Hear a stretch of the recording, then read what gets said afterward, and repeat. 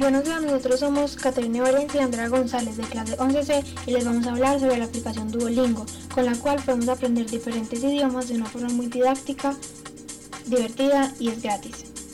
Vamos a comenzar. Principalmente te preguntan qué idiomas quieres aprender, por ejemplo inglés, francés, portugués y muchos otros. En este caso vamos a empezar con alemán. Aquí te preguntan cuánto tiempo le quieres dedicar a tus lesiones, por ejemplo, 5 minutos, que es el mínimo, o 20 minutos si tienes una pausa muy larga. Nosotros comenzaremos con el relajado.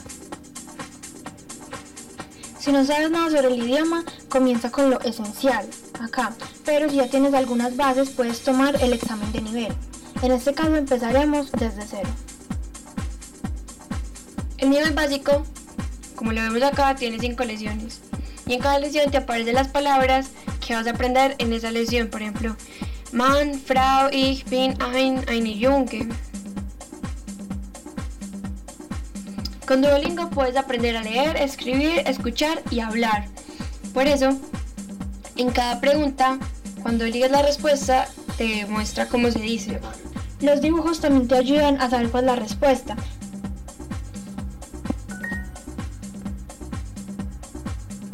Acá podemos ver el progreso que llevamos en esta lesión.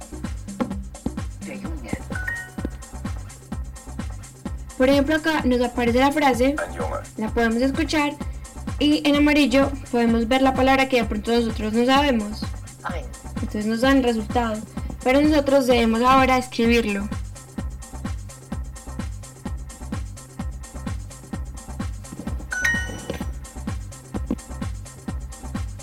Acá por ejemplo nos piden que toquemos los pares, en español y en alemán.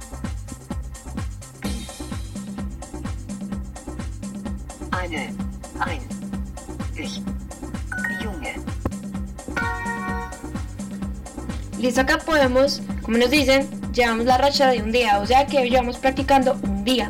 Por ejemplo, hoy sábado. Si practicamos toda la semana, nos van a aparecer entonces todos los días como el sábado.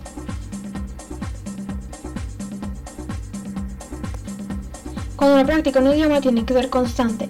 Por esto, si dejas de practicar por mucho tiempo, digamos 10 días, Duolingo te baja de nivel y tienes que volver a hacer algunas lecciones.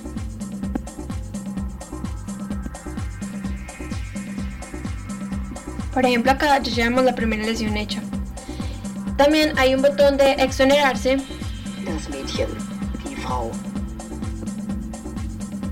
Este botón nos sirve por si uno cree saber ya todas las lecciones y como que hace un resumen de todas estas para adelantarlas y no tenerlas que hacer. Ahora vamos a entrar a una sesión para explicar las cosas mejor. Pones tu usuario o correo y después la contraseña. Una vez adentro podemos ver que están en color dorado todas las lesiones ya realizadas y en diferentes colores las que faltan por desarrollar.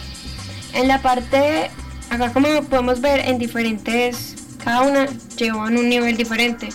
Eso significa que faltan algunas por desarrollar y las que tienen el número es que faltan esas lesiones por realizar. Arriba a la izquierda podemos ver cuántos idiomas estás practicando a la vez, digamos francés, inglés o alemán. También nos dice la fluidez, digamos acá con francés es 23% y también puedes agregar más cursos. Eso quiere decir que puedes poner más idiomas. También podemos tener amigos. Los podemos seguir para ver cuántos llevan, digamos la racha que llevan de días o los niveles que tienen. Por ejemplo, aquí Leonardo está estudiando inglés y alemán y tiene el nivel de cada uno es de 15. También tenemos una tienda, la cual funciona con lingots que son como la plata de esta aplicación, con la cual podemos comprar diferentes cosas, ya que Duolingo es como un juego. En la pesita podemos ver, podemos hacer un examen para ver cómo está nuestro nivel de, o sea, qué tan, qué tan bien estamos en el idioma. Para finalizar, estas son, en este botón podemos ver las configuraciones y también tu perfil. Acá podemos ver lo que ven nuestros seguidores, el nivel que se tiene, o sea, que esta persona tiene, y los seguidores que, ah, pues a las personas a las que siguen.